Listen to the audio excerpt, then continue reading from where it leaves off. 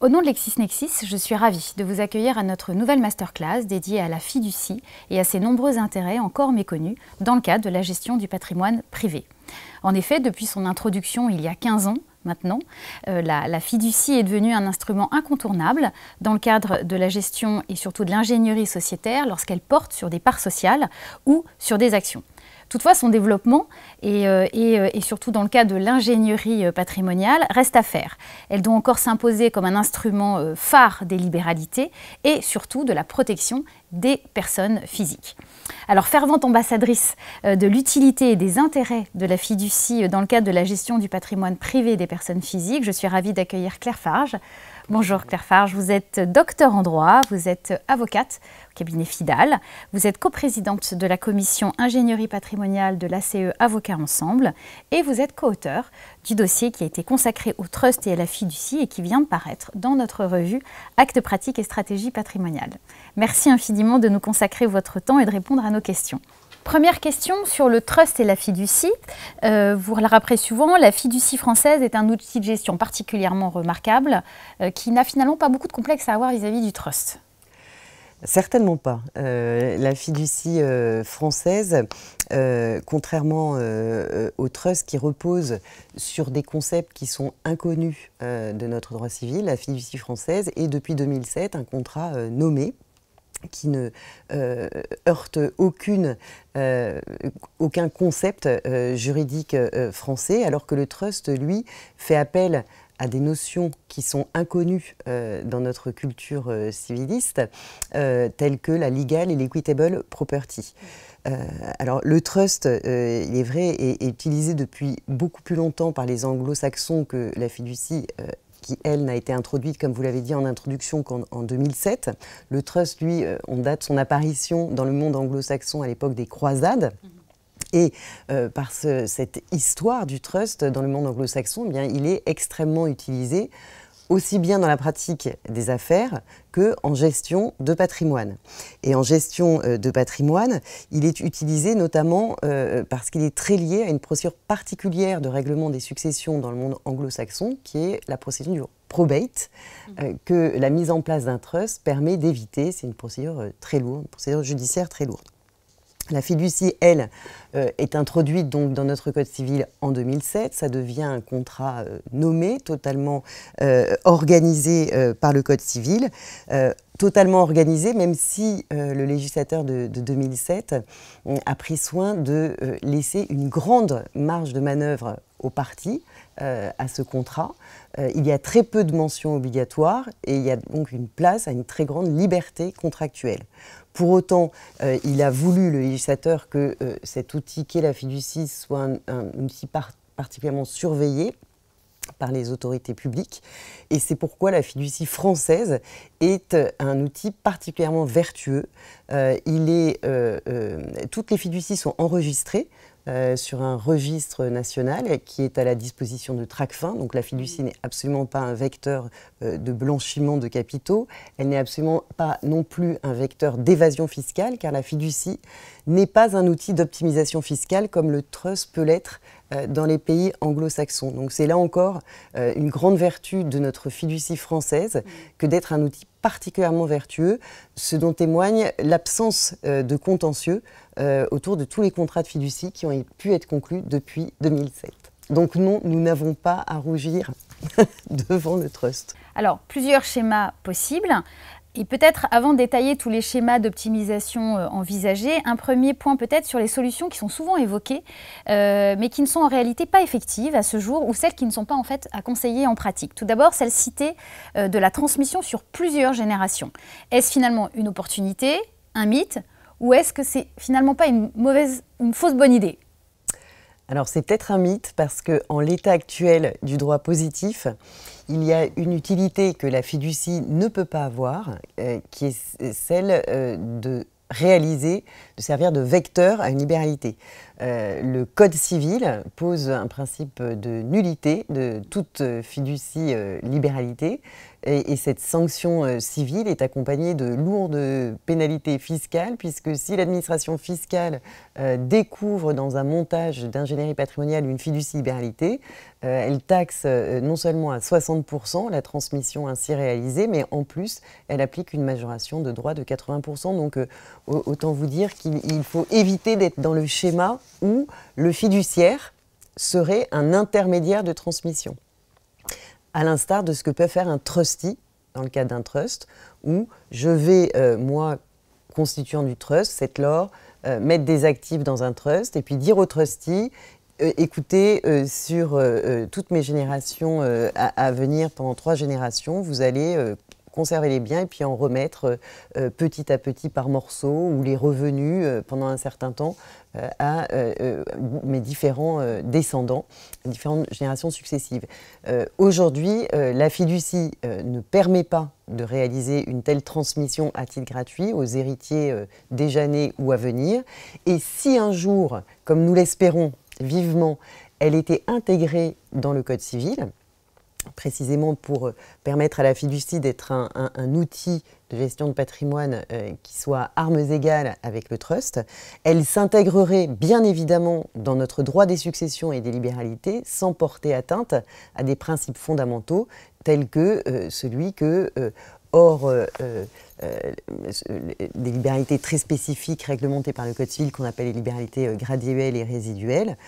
or, ce cas-là, euh, il est bien évident que euh, le patrimoine euh, transmis, puis, le patrimoine transmis, pardon, ne peut l'être qu'à des personnes qui sont au moins conçues, si mm. elles naissent vivantes par la suite, et, qu'on ne peut pas, de son tombeau, gouverner les générations à venir, comme le permet un trust. Mais il faut savoir que ce n'est pas une attente que j'entends euh, de la part des clients que cette volonté de euh, gouverner les générations à venir, comme le permet le trust dans la culture anglo-saxonne. Très bien. Euh, une autre solution permettrait en fait un démembrement de patrimoine entre plusieurs bénéficiaires, comme par exemple le droit pour certains au capital, le droit au revenu pour d'autres. Est-ce qu'aujourd'hui c'est possible et est-ce que c'est souhaitable?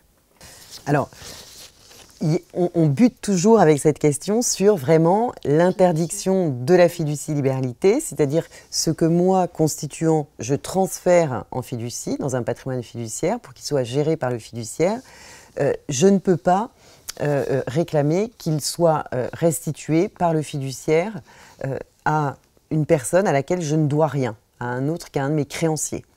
Euh, un créancier euh, euh, de somme d'argent ou un créancier d'une obligation alimentaire, par exemple.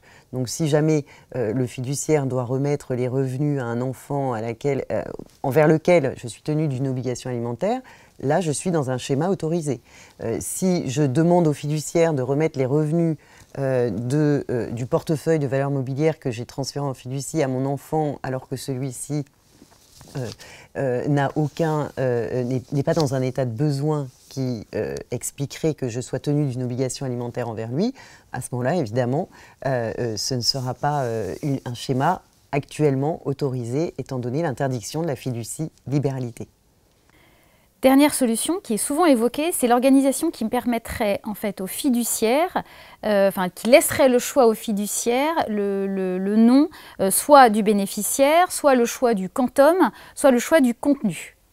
Qu'est-ce que vous pouvez répondre à cette... Euh, Alors donc là, on est dans ce, droit prospectif d'introduction de la fiducie libéralité et on s'interroge sur l'analogie que l'on pourrait faire, euh, ou en tout cas euh, la réception que l'on pourrait faire dans notre droit français euh, des successions de ce qui est permis dans une culture anglo-saxonne avec le trust, où on a effectivement des trustees qui peuvent avoir un pouvoir de choisir combien et à qui ils restituent les biens qui ont été mis en trust.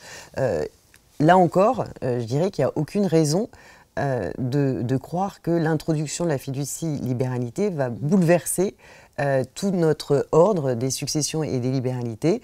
Or, dans notre droit des successions et des libéralités, il y a un principe de l'interdiction euh, de transmettre à son décès des biens avec, à une personne avec possibilité pour cette personne de choisir à qui elle va remettre les, biens en question, c'est l'interdiction du legs avec faculté d'élire. Mmh. Donc c'est le testateur, le titulaire du patrimoine qui doit choisir les personnes à qui il transmet les biens. Il ne peut pas déléguer cette faculté à un tiers. Euh, donc il n'y a aucune raison que si on introduisait la fiducie libéralité dans notre droit, euh, il faille euh, s'écarter de ces interdictions qui constituent le droit positif. Merci pour tous ces, rappels. Alors justement, sur les utilités de la fiducie maintenant, l'un des intérêts majeurs de la fiducie, c'est sans aucun doute celui de protéger les constituants contre eux-mêmes, finalement. Et l'objectif ici, c'est d'anticiper l'incapacité. Pouvez-vous expliquer concrètement en fait l'intérêt de ce schéma? Alors, protéger euh, les constituants contre eux-mêmes, alors c'est effectivement euh, un des euh, objectifs extrêmement importants que peut avoir la fiducie patrimoniale, la fiducie en gestion de patrimoine. Je dirais qu'il y a deux types euh, de situations qui peuvent euh, se présenter, qui relèvent l'un du schéma de ce qu'on pourrait dire une fiducie préventive et l'autre du schéma d'une fiducie que l'on pourrait dire curative. La, fiducie euh, préventive, c'est celle qui va permettre, par exemple, de proposer à celui qui est titulaire d'un patrimoine complexe, comme des titres de société, un dirigeant de société, qui souhaite avoir une solution, un filet de sécurité pour le cas où un accident euh, lui surviendrait euh, ou une, maladie euh, qui lui ferait perdre ses facultés intellectuelles. Et il veut absolument protéger son patrimoine professionnel de toute immixtion d'un juge des tutelles ou d'un mandataire judiciaire à la protection des majeurs qui serait désigné par le juge des tutelles dans le cadre euh, de la gestion de cette participation dans la société. Donc il veut véritablement pour cet actif une gestion privée, euh, une solution de gestion privée par une équipe de professionnels qu'il aura lui-même mis en place dans le contrat de fiducie. Donc c'est un contrat de fiducie euh, prévoyance, en ce sens que la fiducie elle est mise en place pour servir de filet de sécurité à une pour le, cas d'avènement d'une situation qui, on l'espère, n'arrivera jamais. Mais qui, si un jour elle survient, tout sera prêt pour que euh, ça ne soit pas euh, une catastrophe pour l'entourage du dirigeant qui peut-être n'est absolument pas euh, aguerri à la vie des affaires. Et puis il y a la situation où... Curative. curative, où là, je dois organiser une transmission de patrimoine à un majeur fragile. un majeur fragile qui est déjà ou pas sous un régime de protection. S'il est sous un régime de protection, c'est un peu compliqué parce qu'aujourd'hui, hélas, on a des règles incohérentes euh, en matière de fiducie et personnes vulnérables, puisque selon certains régimes de protection, dans certains régimes de protection, je pense à la curatelle, il n'y a aucun souci pour transférer des actifs du majeur euh, vulnérable en fiducie, alors que euh, lorsque je suis en présence d'un majeur en tutelle, là, tout d'un coup, le législateur nous dit acte très très dangereux et interdiction de transfert en fiducie. Donc, sous ces réserves, je suis donc dans la situation où je veux transmettre un patrimoine à un majeur fragile, par assurance vie, par donation, par legs, mais euh, je redoute euh, qu'il ne soit pas capable de gérer ce patrimoine euh, dans son propre intérêt et qu'éventuellement même il soit la proie d'un entourage malveillant. Mm. voilà. Et, donc je veux vraiment à la fois isoler le patrimoine que je veux lui transmettre dans un patrimoine qui va être inatteignable par ces personnes malveillantes, mm. le sanctuariser, mm. et puis en plus en confier la gestion à un professionnel en qui j'ai parfaitement confiance, puisque euh, fiducie, hein, il ne faut pas l'oublier, euh, ça repose euh, étymologiquement sur la notion de, de, confiance. Donc vraiment, le fiduciaire, on va le choisir parce qu'on a confiance, confiance en lui. Autre utilité, et non diminuée euh, d'importance, et pourtant finalement très peu connue des, praticiens, c'est un outil de négociation dans le cas des divorces. Pouvez-vous expliquer quel est euh, le, schéma euh, qui est préconisé en l'espèce? Alors il n'y a, pas un schéma, il y a vraiment plein de possibilités de se servir de la fiducie dans le cas d'un divorce pour apaiser les tensions, pour favoriser l'égalité dans la sortie euh, du, divorce, tout en euh, conciliant les intérêts en présence qui sont parfois contradictoires. On ne veut pas laisser son conjoint sur la paille, mais en même temps, on a par exemple un actif professionnel qui, parce qu'on s'est marié sans contrat de mariage, euh, s'avère être un bien commun qu'il faut partager en deux, et on se trouve devant l'équation cauchemardesque où ce bien, ben, si on, applique le régime matrimonial, il faut le partager en deux, mais le partager en deux à un moment où l'entreprise n'est pas à vendre, où une réduction de capital ne serait pas du tout une bonne solution. Euh, et donc, euh, à la catastrophe humaine, conjugale, euh, s'ajoute une catastrophe économique. La fiducie, ça peut aider à concilier les intérêts en présence, puisqu'elle permet de déconnecter la propriété économique, dont on imagine que ça ne pose pas forcément un problème aux dirigeants divorçants de la, de la partager avec son conjoint. Donc on va pouvoir euh, distinguer cette propriété économique qui resterait donc euh, euh, partagée entre les deux époux, et puis la propriété juridique, c'est-à-dire la personne qui va être présente dans les assemblées générales, parce que là, il est peu évident que l'ex-conjoint soit bienvenu dans les assemblées générales, donc on ne veut pas avoir affaire à lui. Donc éventuellement, la fiducie peut être une solution pour faire gérer par un fiduciaire qui, exercera donc toutes les prérogatives d'associé, et notamment celle d'assister aux assemblées, euh, à la place euh, du conjoint qui n'est pas euh, pour autant dépossédé de la valeur à laquelle il a le droit, sans pour autant en réclamer immédiatement le paiement, ce qui permet d'obtenir des délais pour reporter le moment où on rendra liquide la partie du patrimoine à laquelle l'ex-conjoint a le droit au moment opportun économiquement et fiscalement. Toujours dans le cadre du, divorce, ce schéma est aussi intéressant, on l'a vu là pour la, gestion euh, des parts euh, d'une entreprise, mais il est aussi intéressant pour l'attribution du logement de famille.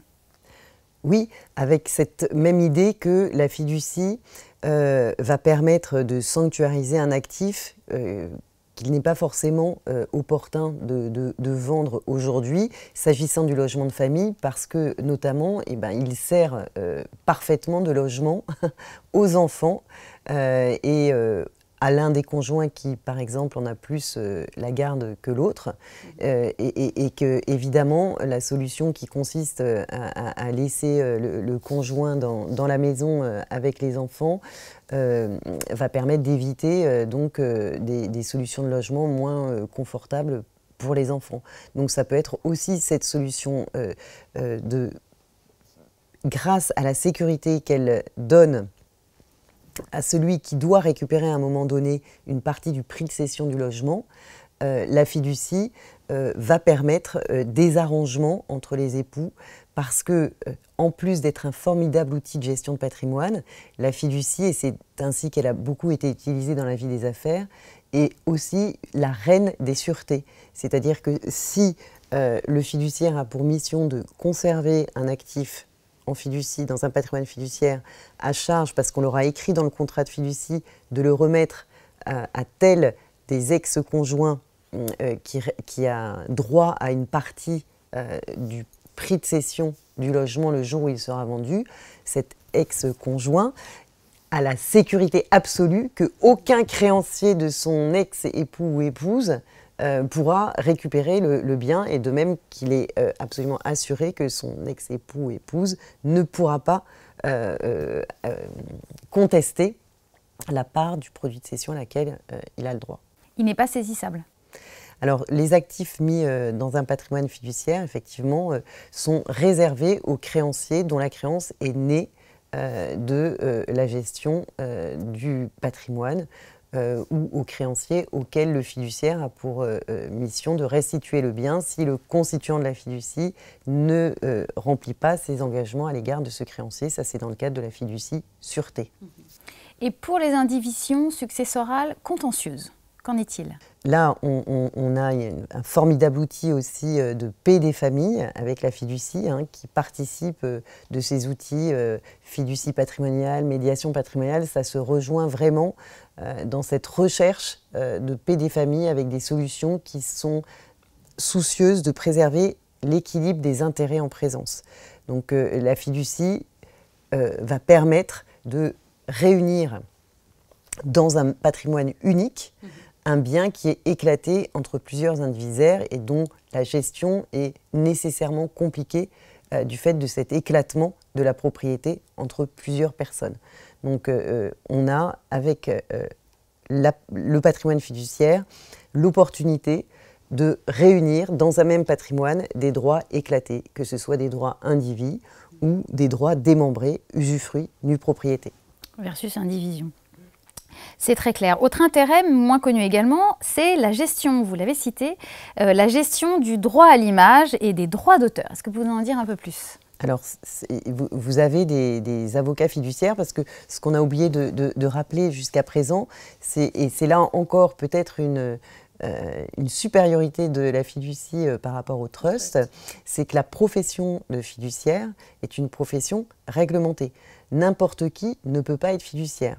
Euh, et, alors que c'est un schéma qu'on rencontre dans le trust anglo-saxon, le constituant d'une fiducie ne peut pas s'autoproclamer fiduciaire de ses propres biens et créer de sa propre volonté un patrimoine fiduciaire à côté de son patrimoine propre.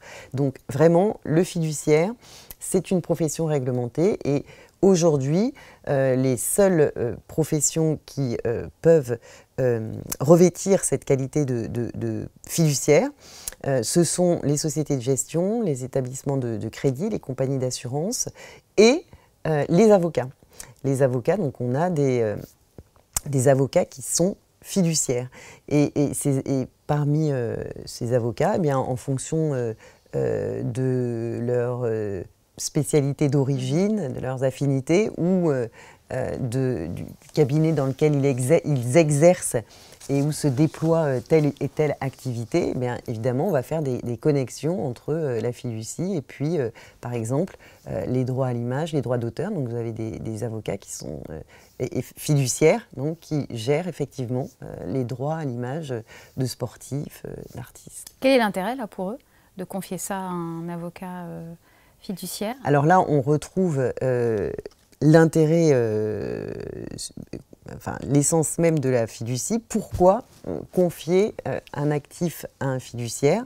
Bien, pour me rendre le service de gérer totalement à ma place l'actif dont il s'agit, parce que euh, je suis malade, j'ai pas le temps, je pars faire le tour du monde, je suis à l'étranger, euh, ou euh, je suis une indivision qui risque d'être conflictuelle, ou je suis un conjoint qui n'y connaît rien à la vie des affaires, ou je suis en présence d'une collection qui n'a de sens que si elle est gérée de manière unitaire et non pas éclatée entre plusieurs héritiers.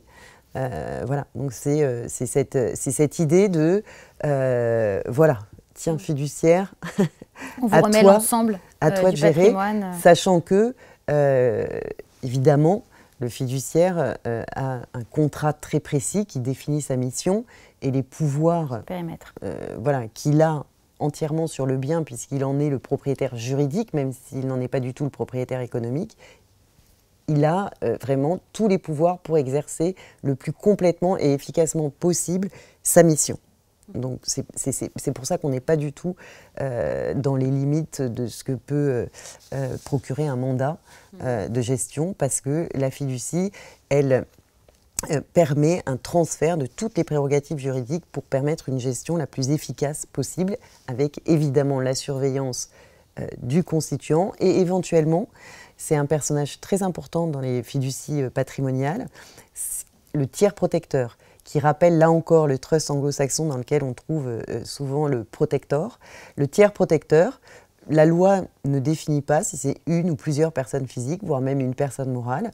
En tout cas, c'est une personne de confiance à laquelle, par exemple, le, notaire de famille, par exemple, le conseiller de patrimoine, le familier officer, l'avocat, qui n'est pas fiduciaire, euh, à qui on va confier la mission bah, de, veiller à ce que le fiduciaire euh, exécute bien le, contrat. Euh, et il aura, ce tiers protecteur, les mêmes pouvoirs que le constituant, c'est-à-dire celui éventuellement de donner des instructions au fiduciaire, celui éventuellement de demander la révocation, la révocation du, fiduciaire. Alors en conclusion, vous avez démontré euh, tous les intérêts, les bénéfices que peut permettre le recours à la fiducie. Vous êtes l'ambassadrice de l'attractivité euh, de notre droit français en matière de gestion justement du patrimoine. Vous appelez le législateur à aller euh, peut-être encore plus loin sur le sujet. Est-ce que vous pouvez expliquer?